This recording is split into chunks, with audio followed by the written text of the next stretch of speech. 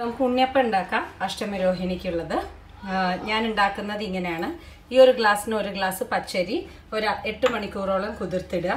അത് അരയ്ക്കാൻ ഇട്ടിട്ടുണ്ട്. ഇതിൽ കൂടെ ഒരു മൂന്ന് നാല് ഏലക്ക ഇടുക. ചിക്കൂട്ട പഴം ഇല്ലെങ്കിൽ ചെറുപഴം ഏതാണെന്ന് വെച്ചാൽ അതിന്റെ ഒരു പകുതി ഇടുക. തേങ്ങ. അപ്പോൾ തേങ്ങ എന്ന് പറയണത് അരക്കപ്പ്. കപ്പ് ഇതിന്റെ അരക്കപ്പ്. കപ്പ് ഒരു കപ്പ് അരിയാണെങ്കിൽ അരക്കപ്പ് കപ്പ് തേങ്ങ. പിന്നെ നമ്മുടെ മധുരത്തിനനുസരിച്ചിട്ടുള്ള ശർക്കര. കേട്ടുള്ളൂ പാനിയൊന്നുമല്ല ഡയറക്റ്റായിട്ട് ഇടുകയാണ്. കാഞ്ചേര ഇപ്പം നമ്മൾ തേങ്ങ ഇട്ടു. പഴം പകുതി ഇട്ടു ഏലക്ക എന്നിട്ട് നമുക്കൊന്ന് അരയ്ക്കാം. വെള്ളം നോക്കിയിട്ട് മതി. ശർക്കരയിൽ ഇട്ട് കഴിഞ്ഞാൽ ശർക്കര ഇട്ട് കഴിഞ്ഞാൽ വെള്ളം വരും. അതുകൊണ്ട് വെള്ളം നോക്കി നോക്കി ഒഴിക്കാം കേട്ടോ. ഒരു പ്രാവശ്യം വെള്ളം ആയിക്കഴിഞ്ഞാൽ പിന്നെ നമുക്കൊന്നും ചെയ്യാൻ പറ്റില്ല. അതുകൊണ്ടാണ്. അപ്പം നോക്കി നോക്കിയിട്ട് നമുക്ക് അരയ്ക്കാം.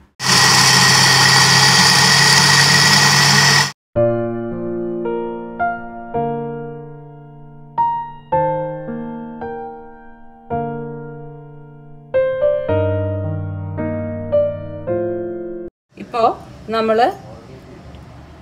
ശർക്കര ഇട്ട് കൊടുക്കുകയാണ്. എന്താ ഇപ്പം ഇത്ര വലുതായിട്ട് ഇടണമെന്ന് വിചാരിക്കേണ്ട. അത് അരഞ്ഞോളും കുഴപ്പമൊന്നുമില്ല.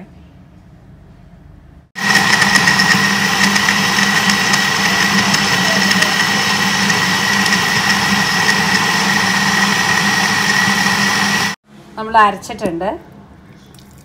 ഇതാ ഇതാണ് കൺസിസ്റ്റൻസി ഇനി ഒരു മണിക്കൂർ ഒന്ന് വെക്കുക. അപ്പോൾ അതൊന്ന് ഇരുന്ന് പാകാവട്ടെ. എന്നിട്ട് നമുക്ക് ചൂടാട്ടുള്ളൂ അപ്പോൾ നമ്മൾ നൈവേദ്യം ആയതുകൊണ്ട് ഞാൻ അങ്ങോട്ട് ഒഴിക്കണത് കാണിക്കണില്ല. എടുക്കണത് മാത്രമേ കാണിക്കുള്ളൂ. എന്താ കാര്യം എന്ന് വെച്ചാൽ നൈവേദ്യം ഒഴിച്ച് വിളമ്പണതൊന്നും കാണിക്കാൻ പാടില്ല എന്നാണ്. അപ്പോൾ അതുകൊണ്ടാണ് ഞാൻ ഇങ്ങനെ ചെയ്യുന്നത്. അപ്പോൾ ഇങ്ങനെയാണ് മാവ് നമ്മുടെ അപ്പക്കല്ലിൽ ഒഴിച്ചിട്ട് എടുക്കുന്ന സമയത്ത് നിങ്ങൾ കാണുന്ന നല്ല സോഫ്റ്റ് ആയിട്ടുള്ള ഉണ്ണിയപ്പമാണ് നിങ്ങളിവിടെ കാണുന്നത്. എന്താ കാര്യം എന്ന് വെച്ചാൽ ആ ഒരു നൈവേദ്യത്തിന് നമ്മൾ ചെയ്യുന്നത് ടോട്ടലി നമ്മൾ സാധാരണമാരി ചെയ്യുന്നതെന്ന് ഭയങ്കര വ്യത്യാസമുണ്ട് അതുകൊണ്ടാണ് ഞാൻ നിങ്ങൾക്ക് ഈ റെസിപ്പി പറഞ്ഞു തരുന്നത് കേട്ടോളൂ. കണ്ടോ? നല്ല അസല ഉണ്ണിയപ്പം സൂപ്പർ. നമ്മൾ ഉണ്ണിയപ്പം ചൂടാൻ ഉപയോഗിക്കുന്നത് നെയ്യും നല്ലെണ്ണയുമാണ്. കോമ്പിനേഷൻ നിറയെ നെയ്യും ഒരു മൂന്ന് സ്പൂണ് നെയ്യും ഒരു സ്പൂണ് നല്ലെണ്ണയും. അങ്ങനെ നിങ്ങൾ കോമ്പിനേഷനിൽ നിങ്ങൾ ഉണ്ണിയപ്പം ഉണ്ടാക്കുക.